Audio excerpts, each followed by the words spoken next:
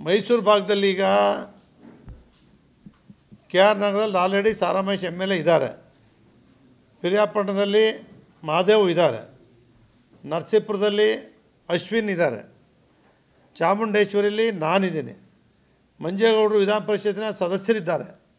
ಇವರೆಲ್ಲರೂ ಕೂಡ ಅವರವರ ಕ್ಷೇತ್ರಗಳಲ್ಲಿ ಸಂಘಟನೆ ಗೆಲುವಿಗೆ ಏನು ಬೇಕೋ ಎಲ್ಲ ಕಾರ್ಯಕ್ರಮಗಳನ್ನು ಮಾಡ್ತಾಯಿದ್ದಾರೆ ಉಳಿದಿರ್ತಕ್ಕಂಥ ಕ್ಷೇತ್ರಗಳನ್ನು ಅದಕ್ಕೆ ನಾನೇ ಕುಮಾರಸ್ವಾಮಿಯವ್ರಿಗೆ ಒಂದು ಬಾರಿ ಬಂದು ನೀವು ಎಂ ಎಲ್ ಎ ಇಲ್ಲದೇ ಇರ್ತಕ್ಕಂಥ ಕ್ಷೇತ್ರಗಳನ್ನು ಒಂದು ಸಾರಿ ರಿವ್ಯೂ ಮಾಡಿ, ಅವ್ರಿಗೆ ಒಂದು ಶಕ್ತಿ ತುಂಬಿ ಪ್ರೇರಣೆ ಮಾಡಿ ಯಾವ ರೀತಿ ಹೋಗಬೇಕು ಅಂತಕ್ಕಂಥದ್ದನ್ನು ಮಾರ್ಗದರ್ಶನ ಮಾಡಿ ಹೋಗಬೇಕು ಅಂತೇಳಿ ಹೇಳಿದ್ದೆ.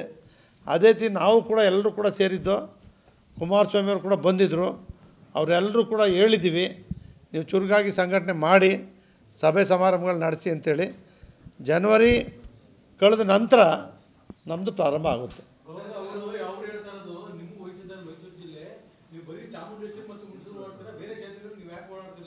ನನಗೆ